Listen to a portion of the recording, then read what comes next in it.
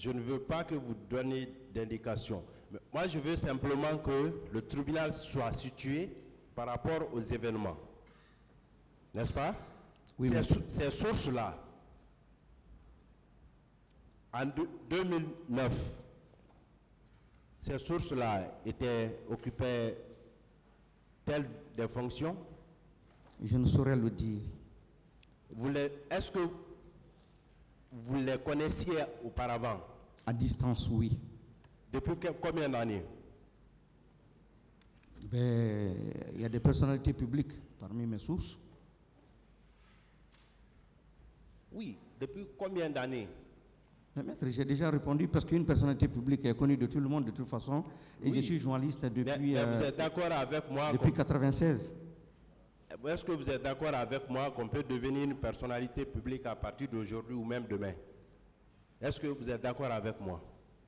Mais vous me dites, je vous ai bien dit que je les connaissais à distance en tant que personnalité publique. Oui. Mais avoir des relations euh, plus Étroites. ou moins étroites, et ça, c'est à partir de euh, 2020-2021. À partir de 2020-2021. Oui. Mais étant des personnalités publiques, n'ayant pas eu affaire avec eux, est-ce qu'auparavant, ces sources-là, vous avez remonté des informations qui ont- que vous avez pu vérifier auparavant. Avant, avant, avant que vous ne fassiez cette sortie.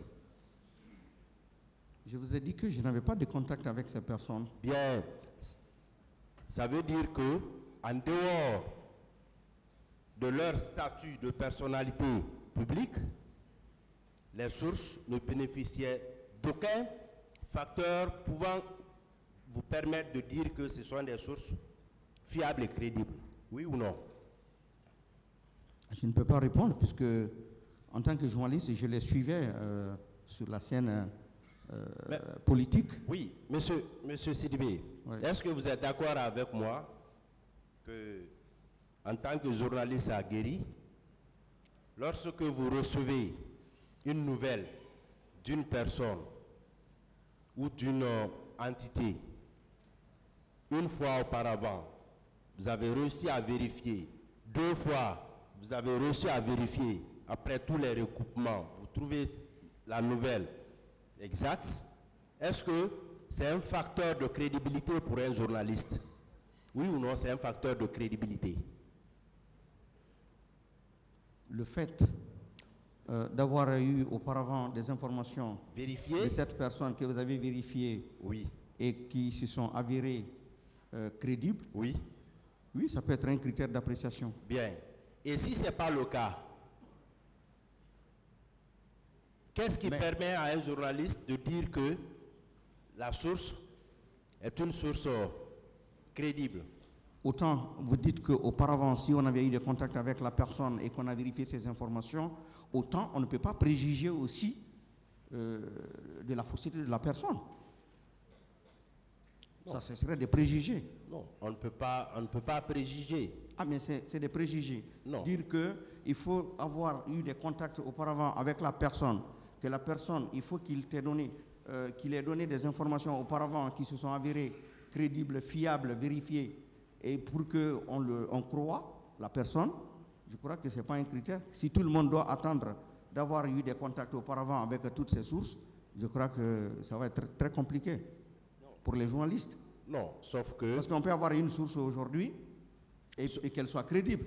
sauf que, Monsieur Sidibé, c'est vous qui avez dit ici que lorsque vous avez reçu à votre niveau la, la nouvelle que vous n'avez pas pu les recouper, vous n'avez pas pu les vérifier. C'est vous qui l'avez dit, n'est-ce pas? Alors que auparavant, vous, ne disposiez d'aucun élément pouvant établir la fiabilité de leur information. Vous l'avez dit ici.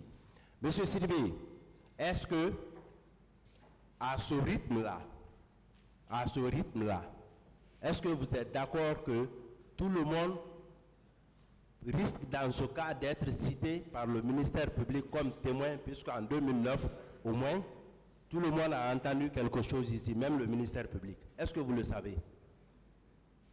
Je n'ai pas de réponse. Bien, vous n'aurez pas de réponse à cela. Je vous remercie, Monsieur le Président.